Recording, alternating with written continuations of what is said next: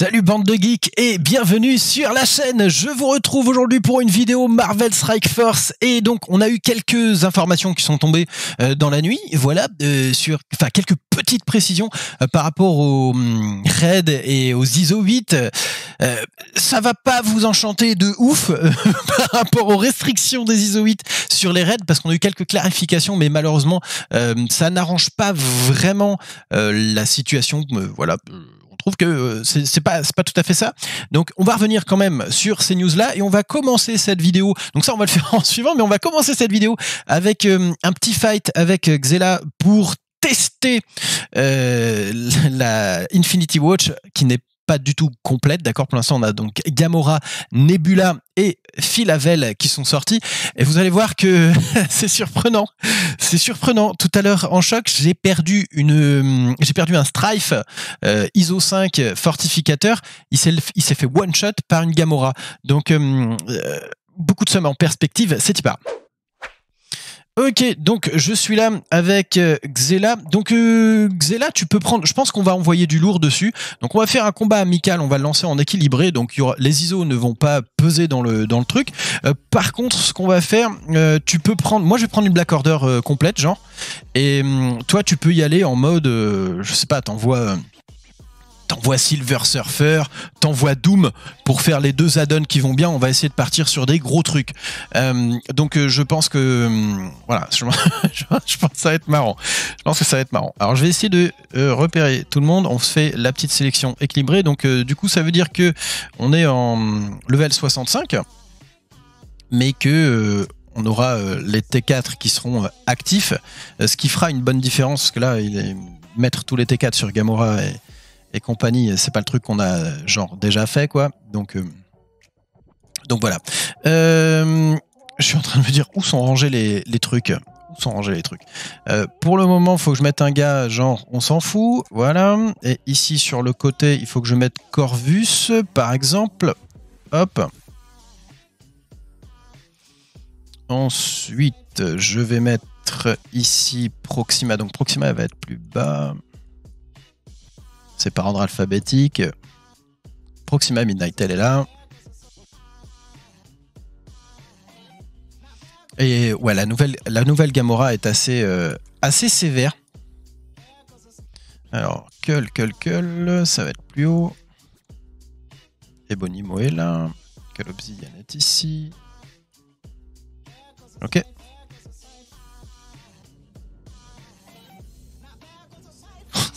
je vais me faire ouvrir en deux sur le match. Je le sens pas. Je la, cette affaire-là, je ne la sens pas du tout. Parce que l'idée, bon, là, on, complète la team avec euh, deux gros bazars. Hein. C'est pour vraiment que ça vienne bien contrer la Black Order. Parce que là, on va faire euh, un combat pour montrer que, bon, euh, on peut déjà casser la, Black Order avec autre chose. Hein. Le, seul truc, c'est de prendre des persos comme, justement, Doom et les autres qui n'ont pas vraiment de, bonus qui sont euh, projet A, attaque ou défense, qui feraient que globalement euh, le truc ne marcherait pas. quoi. Donc là, c'est des persos un peu comme Kestrel hein, qui ont vraiment un, vrai potentiel arène et qu'on joue déjà quotidiennement en arène. Hein. Doom, Silver Surfer, c'est des persos qu'on retrouve. Il aurait pu mettre Kestrel aussi, hein, ça aurait été pas mal euh, non plus. Mais je pense que contre la Black Order, Doom, Silver Surfer, c'est plutôt... c'est à propos. Ok, donc on va tester ça. Euh, je pense je perds. donc là, du coup, les teams sont équilibrés et les ISO ne rentrent pas en considération. Donc euh, c'est ce qui est pas plus mal non plus, du coup, parce que bah, Nebula, Gamora et Phila, je pense pas qu'ils les aient déjà. ISO 5, donc euh, dans, ce cas de figure, ça devrait être pas mal. Alors, j'ai peur, je sais pas par qui commencer. je vais taper en plein milieu. offense down peut-être, mais Phila a priori va tout enlever. On va target Silver. Il s'en fout. Déjà, Silver s'en fout, c'est cool. On est, sur un bon départ. Donc là, on a l'appui, le speed up, le def up qui est sur les deux. Là, on a les, deux contres qui se rajoutent sur tout le monde. Nous, on va flip. voilà, donc là, il a, Silver Surfer, il est, bien. Donc là, on va se faire Ability Block. Donc euh, c'est Cull Obsidian qui prend le truc. Et euh, on se fait tout sortir On va prendre un petit peu de turn meter parce que du coup euh, Thanos a été trigger dès que euh, Ebonimo est passé dans le jaune. Gamora elle a deux death proof donc deux heals mais elle est offense down. Elle se prend de belles claques. Par contre elle peut ressusciter potentiellement. Fila qui a tout enlevé, la barrière ici qui remonte. Attention.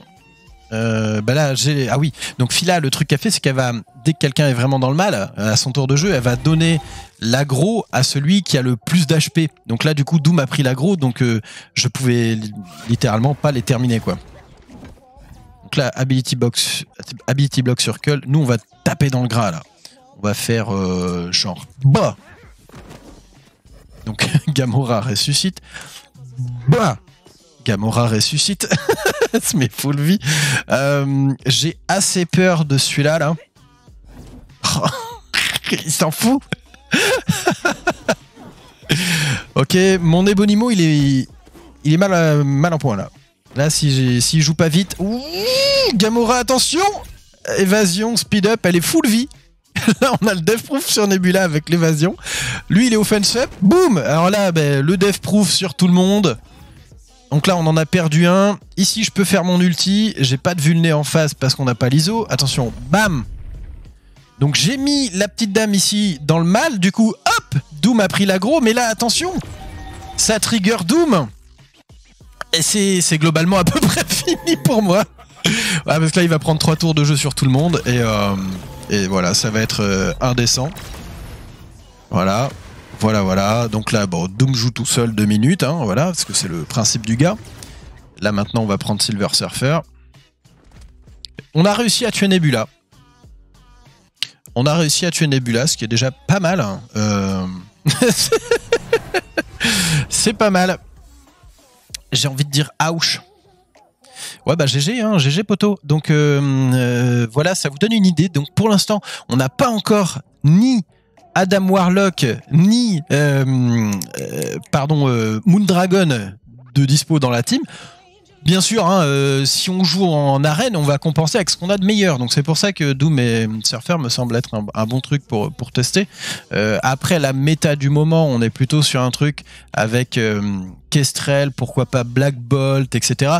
Mais globalement, le résultat serait sensiblement similaire et je crois que je mourrais peut-être plus vite avec la compo que j'ai actuellement en def. donc c'est voilà, ça vous donne une idée du truc. Euh, ça picote les arpions. Donc euh, on va regarder un petit peu, on va revenir sur ça. Euh, c'est donc CMZX qui a posté ça pour revenir un petit peu sur ce qui se passe actuellement in-game. je vois qu'il y a beaucoup d'emotes vomis qui sont dans le truc. Donc il est revenu en apportant quelques petites précisions sur les prérequis pour le raid Fatalis et, entre autres. Donc on, va rentrer un petit peu dedans. Euh, déjà, première chose, pour passer du tiers 1, du palier 1 ISO vert au palier 2 ISO bleu, ça coûtait donc 10 000 ions pour pouvoir faire le passage, et maintenant ça ne coûte plus que 500 ions. Donc ils ont drastiquement réduit le coût, qui était bon pas si élevé que ça en définitive par rapport au simple coût qu'on a euh, déjà pour tout débloquer. Donc, euh, j'étais pas vraiment surpris par ce coup-là. Moi, ce qui me dérange, c'est plus le fait que ce soit de l'ISO 5 qui soit demandé. Mais bon, c'est réduit à 500 parce que ça nous rajoutait un truc en plus. Et c'est vrai que les ions, euh, bah, il en faut énormément. Donc, si on peut avoir un cut au moins là-dessus, c'est toujours ça de prix. Donc, maintenant, ça coûte 500. Pour ceux qui ont déjà payé, qui ont déjà fait quelques passages, vous serez remboursé. Il y aura une compensation qui vous sera envoyée donc dans les semaines à venir. Attention, semaines à venir. Euh, le Red Doom 1. Alors, il euh, y en a qui pensaient d'ailleurs que le Red Doom était cassé parce que du coup, euh, il est beaucoup plus dur. En fait, non, hein, c'est que nombreux sont ceux qui n'ont pas spécialement vu parce que la difficulté normale est disponible, hein, d'accord, mais on, a le Doom 1 et en fait, il a une difficulté supérieure. Donc, on a quand même 75% de dégâts supérieurs dans notre face et en face, toutes les autres stats sont augmentées de 35%. Donc oui, il y a plus de loot, etc. Mais c'est très dur. Euh, je crois que j'ai eu un screen, euh, je vous le montrerai tout à l'heure. Euh, chez, Naos, ils ont réussi à terminer une, ligne. C'est badass, c'est assez raide. Donc on a eu des retours aussi de, teams qui ont envoyé plusieurs symbiotes pour essayer de taper le, boss et faire très très peu de kills alors qu'on a déjà des, des belles symbiotes qui ont été envoyées. Donc c'est assez surprenant. Hein. La difficulté, on a un vrai vrai up. Donc ce qui se passe là-dessus avec euh, le Red Doom, donc euh, on a besoin de 5 persos ISO level ISO 1 level 5 pour pouvoir rentrer dans le truc. Euh, Enfin ISO level 4 puis ISO level 5. Et ce qu'ils disent c'est que attention, c'était euh, c'était pas intentionnel, ils ont, c'était une erreur. Euh, euh, voilà, ça a été corrigé. Donc maintenant, vous pouvez rentrer dans le node si vous avez au moins un personnage level 5 euh, palier 1 en termes d'ISO 8 et euh, on se dit bah cool euh, on prend une team. S'il y a au moins un gars qui est ISO 5 ça va. Non non non c'est pas comme ça que ça marche. Il faut on peut envoyer un gars tout seul genre Spider-Man symbiote. Si c'est le seul vous, vous pouvez l'envoyer tout seul mais il se fera rouler dessus bien sûr. Donc euh, c'est ça ce qu'ils disent avec ça. C'est que vous pouvez maintenant envoyer 1, 2, 3, 4 ou 5 personnages dans le truc, alors qu'avant, il un peu comme pour la DD4, si vous aviez pas 5 persos euh, level 5, vous ne pouviez pas rentrer. Donc maintenant, vous pouvez, mais c'est pas pour autant que vous allez gagner. Donc, euh, euh, bah, ça ne change rien au problème. Limite, c'est- pas mieux, quoi. Donc, euh, bref, ils vont faire un message, bien sûr, pour clarifier cette situation dans le jeu. Et, hum, et donc aussi, on a d'autres petits bugs en cours. Donc, on a a priori la puissance des teams en GA qui ne s'affiche pas correctement. Il y a une petite erreur. Donc, ils sont en train de travailler sur, voilà, un, fixe pour le. Voilà, ils sont en train de réparer cette situation. Moi, j'ai pas vraiment fait gaffe. donc, voilà. Alors aussi, ils voulaient revenir là-dessus pour donc ils vont en parler ce soir dans le blog post. Donc je vous invite hein, d'ailleurs, euh, je serai live euh, comme tous les vendredis soirs à partir de 21h. Deuxième partie de soirée, on fait toujours un tour sur le blog, le blog post pour parler des news et faire une petite euh, vidéo pour débriefer tout ça. Et donc là, on a donc ça va être annoncé dans le blog post de ce soir, mais vous voulez déjà en parler un petit peu en amont parce qu'ils ont vu que ça pétait. Donc euh, on va avoir des events pour pouvoir avoir davantage d'ion, davantage d'ISO pour justement essayer de pousser quelques teams dans le raid Fatalis. Alors d'abord, on va avoir une campagne dédiée. Alors je crois qu'ils n'ont pas parlé des prérequis ici, mais je crois que la campagne nécessite des personnages minimum euh, ISO level 3. Donc je sais pas trop euh, euh, s'ils sont restés sur ces prérequis ou s'il y aura autre chose. On va voir comment ça va être release. Mais on peut looter des orbes basiques et premium pour les fragments ISO 8. Donc ça c'est une bonne chose, d'accord? Et les cristaux. Donc là on aura vraiment bah, de quoi faire. hein. Déjà se mettre sous la dent avec avec ce- cette campagne et on aura également des phases qui vont nous donner des rewards là-dessus. Euh, ça va être lié bien sûr à vos daily refresh. Donc si vous vous loguez le matin, euh, donc les refresh sont à 11h, euh, je, je sais pas bien le truc, 17h et euh, 20h.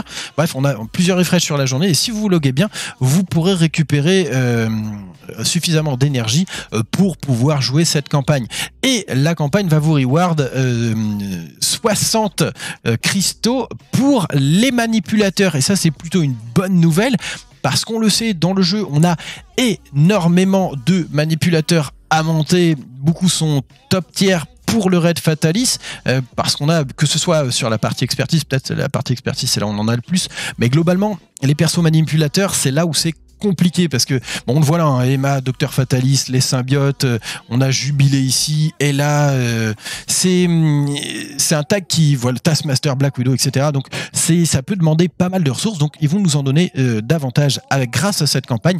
On va également avoir un calendrier. Donc si vous vous loguez pendant 7 jours vous pourrez récupérer de la même façon des orbes basiques et premium et également des orbes Dion donc ça c'est plutôt une bonne nouvelle. Il y aura euh, 10 orbes Dion à récupérer pour pouvoir, euh, bah, en espérant vous l'outiez euh, bien comme il faut là-dessus, pour monter vos persos pour Fatalis. Et également, donc euh, dans la release 5.5 du jeu, donc c'est pas pour tout de suite, c'est dans le prochain patch, ils vont augmenter la quantité d'orbes de, et de cristaux ISO 8 qu'on peut looter au sein de la campagne du même nom. Donc ça, ça va être plus tard, d'accord, dans un futur patch. Donc on n'y est pas encore, mais c'est pour bientôt. Euh, voilà les amis. Donc j'espère que ça vous aura aidé ces petites euh, clarifications du jour. Et, et, donc on note quand même le petit attention du jour.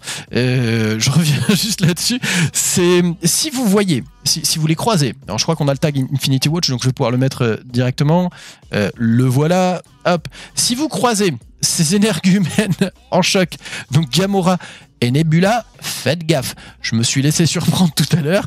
Euh, c'est plus que c'était. C'est-à-dire que si vous les croisez en choc, vous pouvez potentiellement loser bien comme il faut, même si elles sont toutes seules. Donc ce qu'on vous disait sur le trending up en ce moment, donc les personnages qui, sur lesquels on est bien hypé, Nebula et Gamora, même si pour l'instant on n'a pas la team Infinity Watch au grand complet qu'Adam n'a pas release, euh, certains d'entre vous ont déjà fait là, ben je pense que vous pouvez déjà investir dessus parce que euh, leur kit a changé et elles tiennent la route, elles tiennent vraiment bien la route.